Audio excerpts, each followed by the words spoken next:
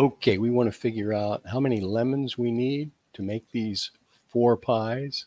By the way, this nine doesn't have anything to do with the problem other than to give you the, the size of the lemon pies.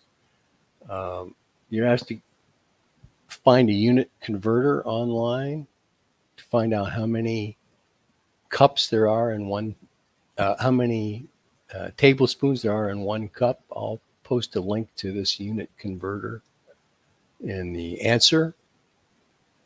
Uh, this was a volume conversion, so we're converting. We find out that one cup is equivalent to 16 tablespoons. So here's how you can think it through using a little diagram. You've got these four pies, and each pie produces half a cup of lemon juice. So there is the lemon juice required. Well, that's two cups. One four times one half. That's what you need. Two cups of lemon juice. But how many tablespoons are there in two cups? Well, one cup is 16, so two cups is 32. So we need 32 tablespoons of lemon juice. Each lemon produces two tablespoons. So if we divide 32 by 2, we find out that we need 16 lemons to produce enough lemon juice. And if we multiply 16 by 65 cents, we'll have the amount of money that's required. So that's how to do it thick and through with a diagram. If uh, you get good at this, you can also do something called unit conversion using dimensional analysis. What you want to do is label the quantities with the appropriate uni- units. And the idea here is to end up with uh, cents. Let's see what happens. So if I say one lemon produces two tablespoons, I want to put a ratio here that allows these tablespoons to cancel out.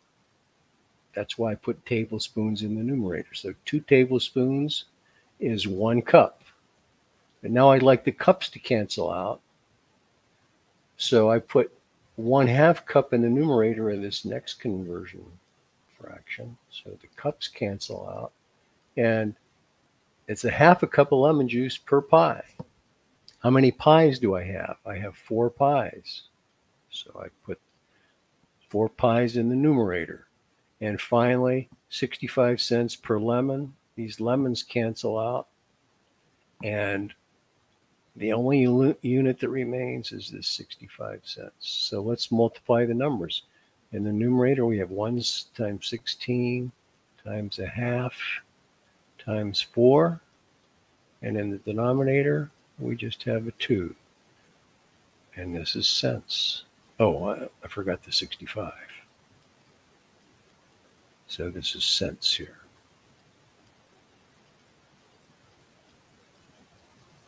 So this is half of 16 is 8.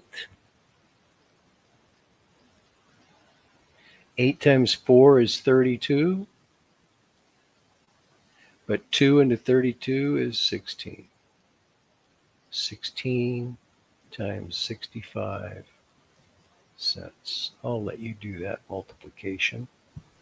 And we'll get some number of dollars and cents. Okay, there you go. Hope that gave you some idea how to do this. If you have any questions, post a comment.